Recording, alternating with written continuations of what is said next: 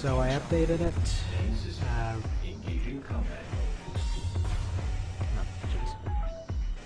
How do I fly? So I updated a little bit. Uh, got the got the smaller core, so I can actually catch up with him now. Well, slightly anyway. He'll still be able to easily outmaneuver me here.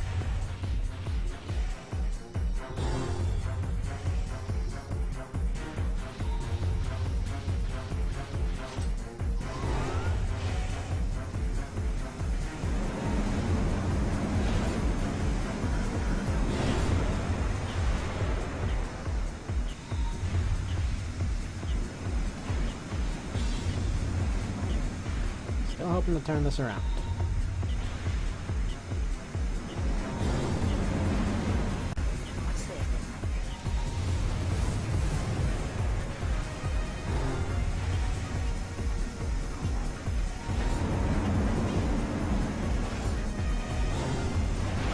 You should not be so maneuverable.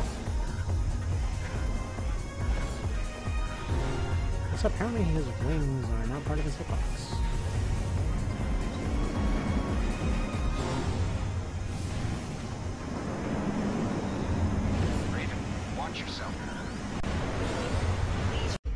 This is attempt. I don't know, like a, it's like a dozen attempts so far or whatever with this guy. Um, so this build kind of works, but uh, turns out there's a problem. Uh, he has a tendency to fly around very erratically. Now, uh, what I've changed with his build, I've, I've gone for a, a lighter, uh, way lighter frame and the energy extension. So what I'm doing, I'm waiting here, waiting for him, uh, waiting for Kaiser to launch a salvo, because he always starts off with a salvo. So waiting for do, for him to do that. Then as soon as that hits, I go in and basically completely commit to a single stat. Now, after his kind of phase change, you get your energy back even if you're charging. So committing to that is perfectly fine. Um, you know that part, that part's fine.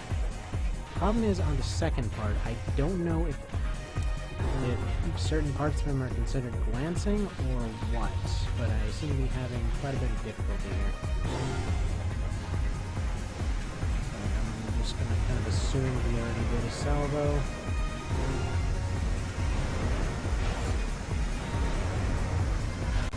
So, dodge the nades.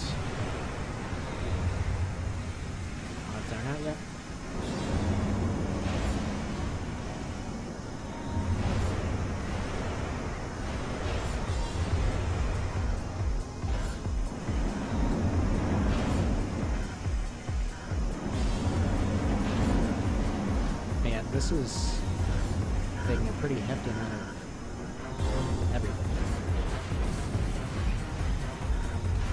Take a second to recharge.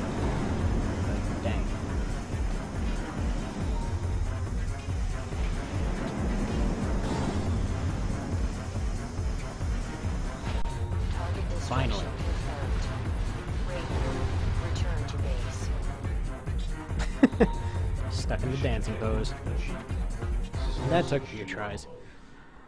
So the issue that I kept running into is yeah, this this setup is way faster, but because you got to stay on him, I didn't have you know the time to actually go and look at the radar, and I kept getting dragged out of bounds.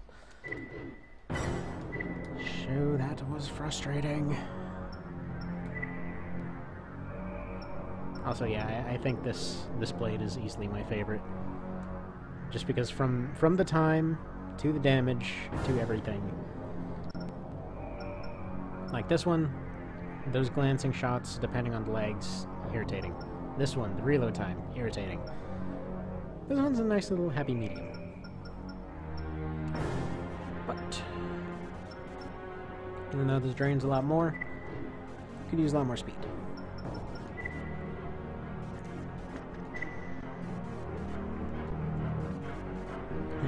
close to that 52% completion. Most of them end around there. Mm, yeah, I think I'm gonna do it. Factory.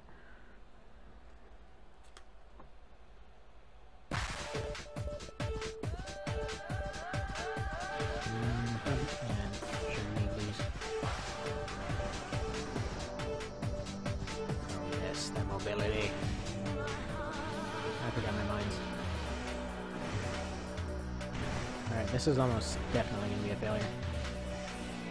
I don't even care, I'm just happy to get points.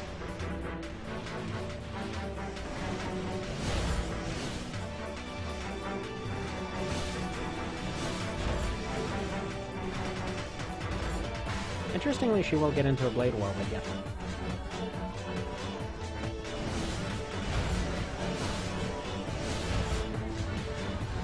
So that's nice.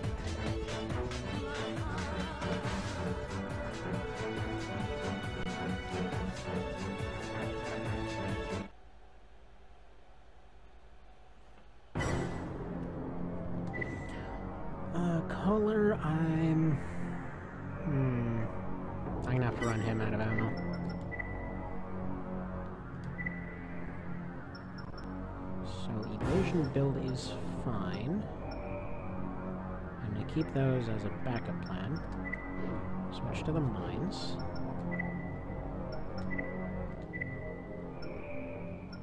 And go for the reservoir because it should be the easiest to dodge here. So I'm, I'm keeping the energy extensions just in case I have to kind of overextend in order to avoid his fire.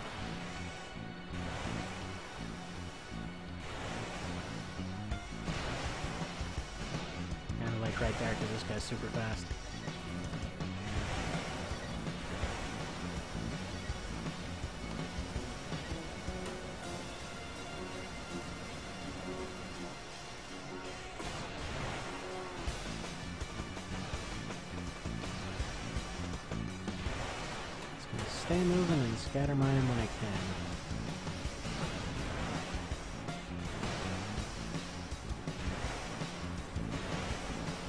Also probably gonna need a better energy output generator to deal with these fruits.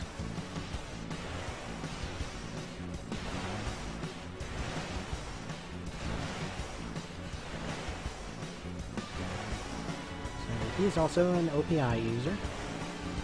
Very cheap one at that.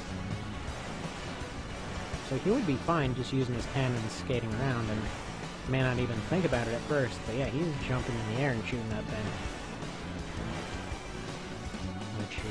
Able to do. Plus, if I'm not mistaken, he's overweight.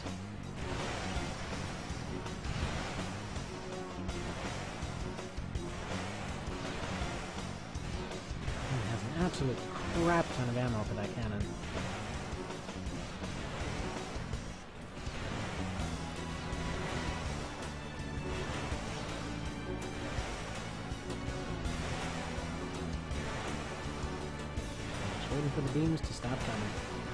And I actually have to angle down the uh, camera a little bit for these mines to go the trajectory I want them to. Because otherwise they were going over his head. Since he has a quad. Machine gun break.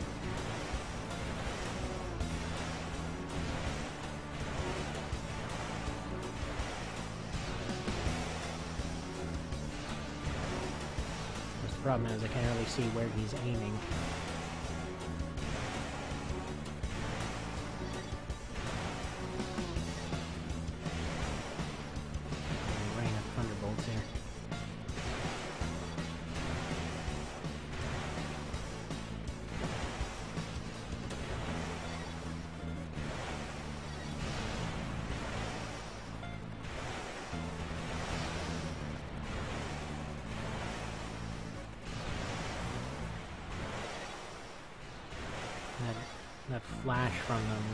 Is probably the most annoying though.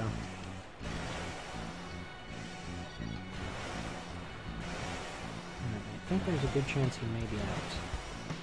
Just skate around a little bit to be sure. Coming out. Alright, let's go have a party at the wall. Come on. I want to show you my fort collection.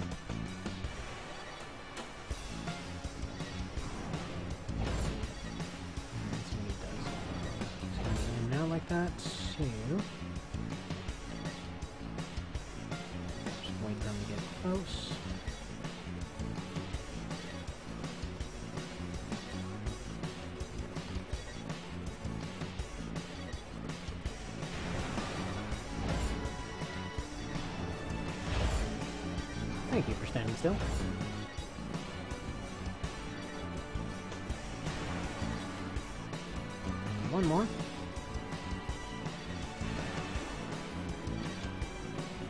So I'm trying to move the camera around so that he tries to circle around and get stuck on my side. So...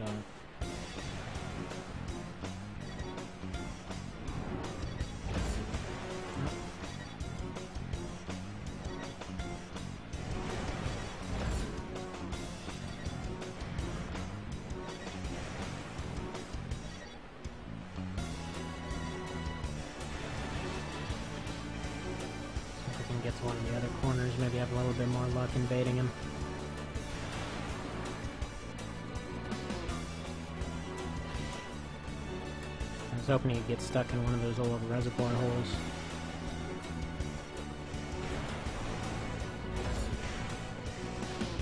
Alright, that'll work too.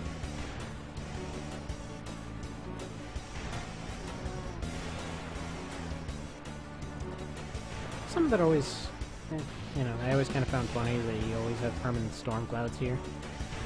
You know, they really could make any weather they wanted.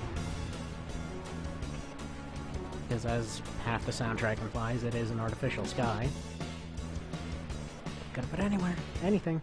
Permanent storm clouds. But another reason I always love that map.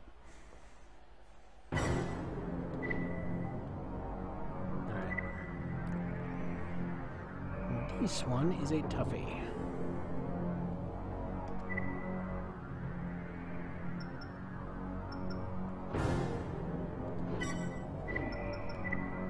So the deal with Grand Chief, um, they are a missile spammer that likes to hang out at the top corners of whatever map you pick. So mines aren't going to do much good.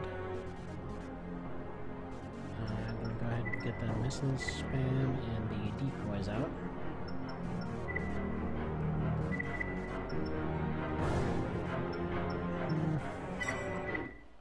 It's usually easiest to fight in the parking lot.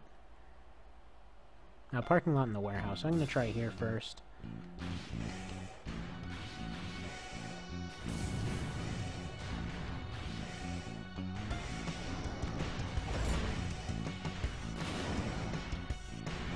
I only went for this blade because of the extra ammo.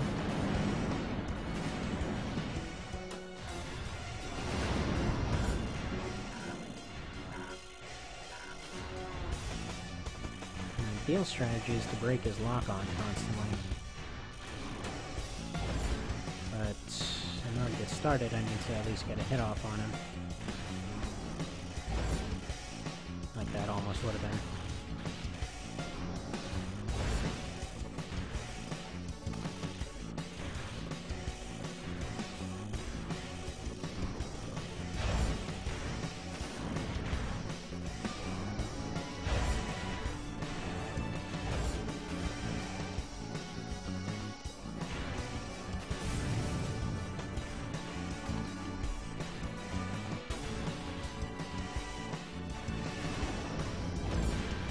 Fight gets a little harder if he ends up hitting the power beams to knock the lights out.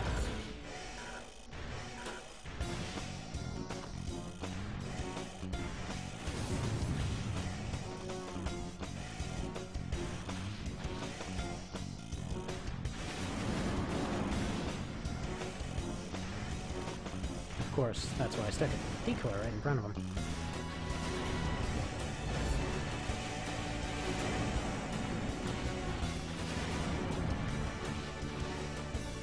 Yeah, he's got a metric crap ton of ammo shoved up his butt there.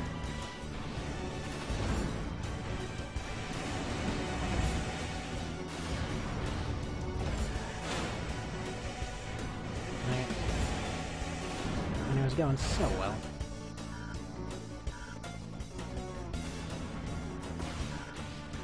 Problem is, I thought he was stuck and kind of mashed the button and overcommitted. don't have enough spikes to actually finish him.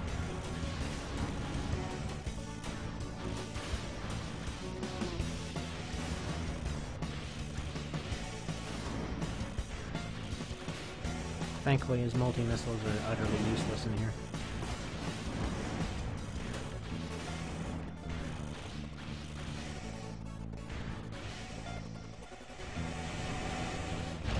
But if he's down to those, he's mostly toothless by now.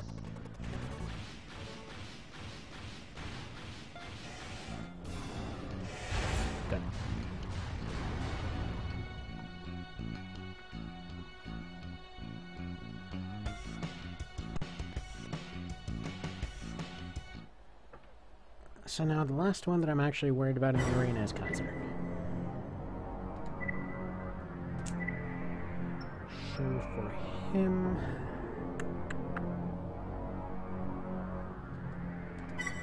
Yeah, it's gonna be factory hit and run for him.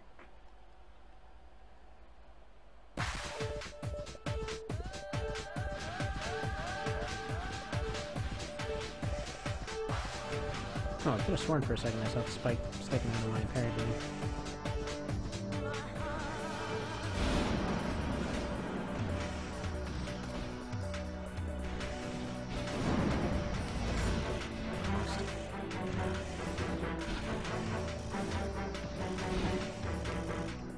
So, with fleets, I can basically avoid his shotgun entirely. Can't avoid is that howitzer, though, and I'm in just the right distance that I end up getting hit by the, the uh, spread shot from. So if you aren't aware, it basically flies out one projectile and then know, breaks out into, I think, like five or six of them.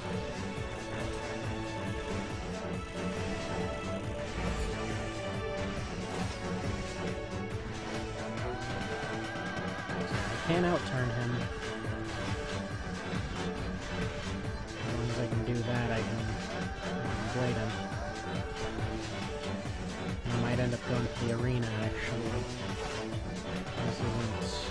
I don't think I have the ammunition to actually pull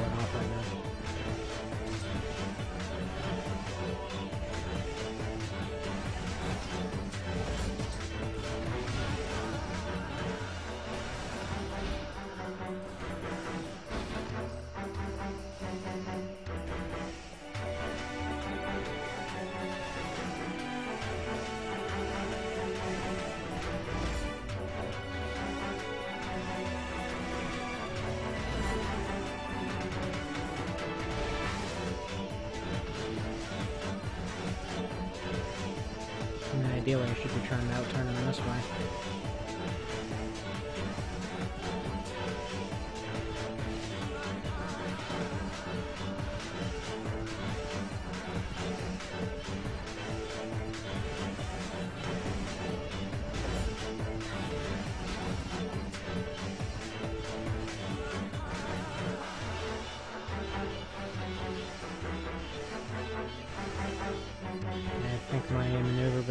Is hampered a lot more than his right now.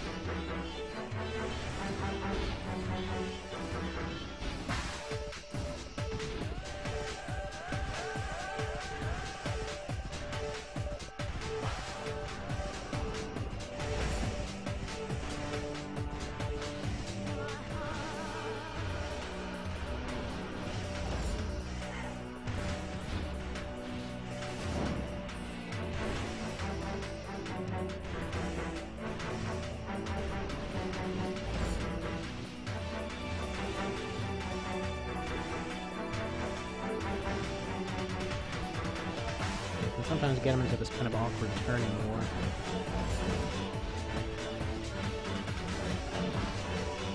Yeah, I keep end up, I keep hitting things, and he keeps getting stuck on things, so this is not working in terms of getting actual hits in.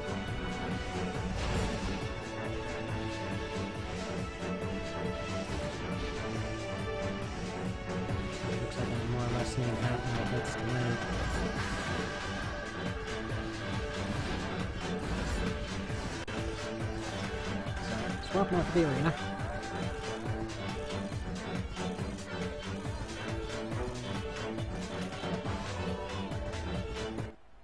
Now, while normally I like the reservoir for maneuverability, I'm actually just going to be using the arena in this case. Well, because unlike the reservoir, the ground is not moving, so it's easier to tell what's going on distance-wise.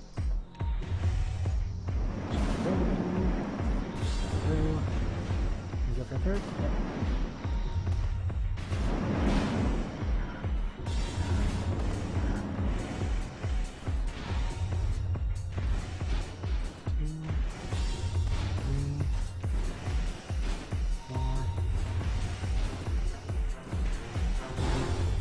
those things, he tends to overuse his EOs.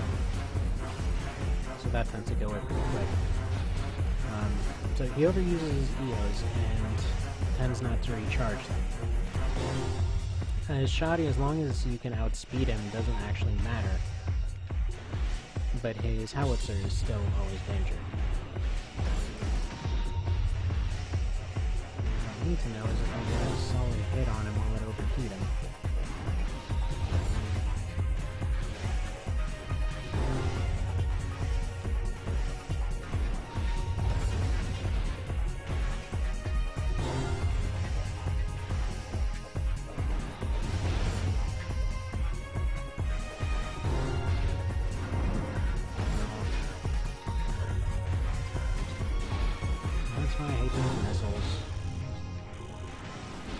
Friggin' 999s on the top left.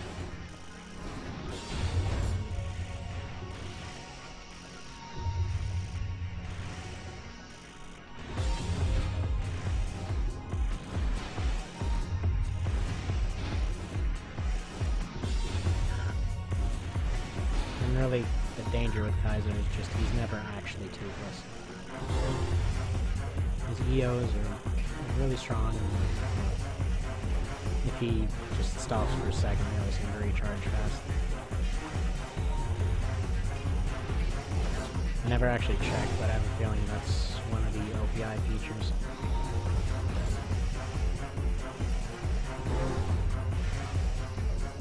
And I can't corner trick him because he's relatively juggernaut close and range. So yeah, I don't think one hit's enough to overheat him.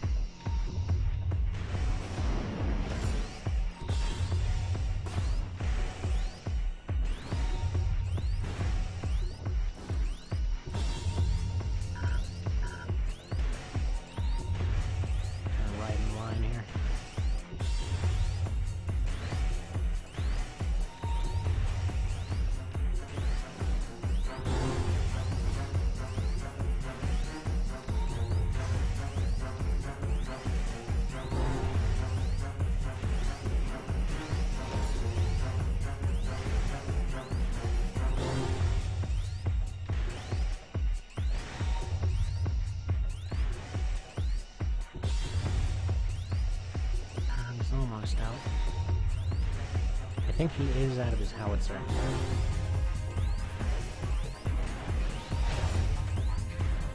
Actually, you know what? One hit, if solid enough, does seem to do the trick.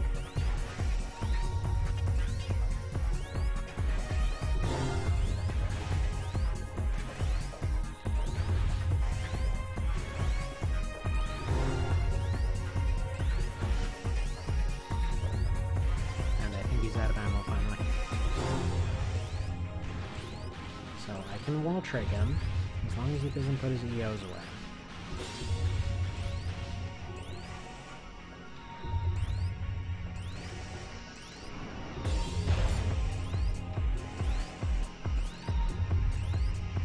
Because he programmed to get really, really, really in your face.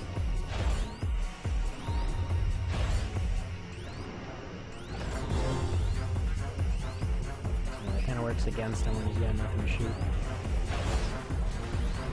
Frustrating thing was when I had a fight with him this one time, where I got him down to 0052. And I'm thinking, okay, he's completely out of ammo.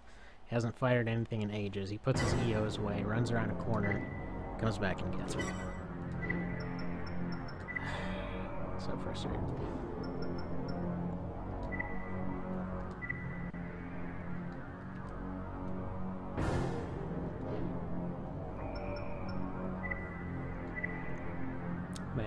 Only one mission left.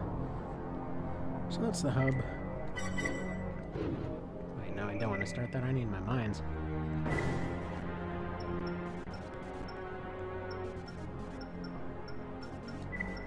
So missiles aren't going to be a problem anymore. I'm going to get these for the flying sections. I'm basically going to call it a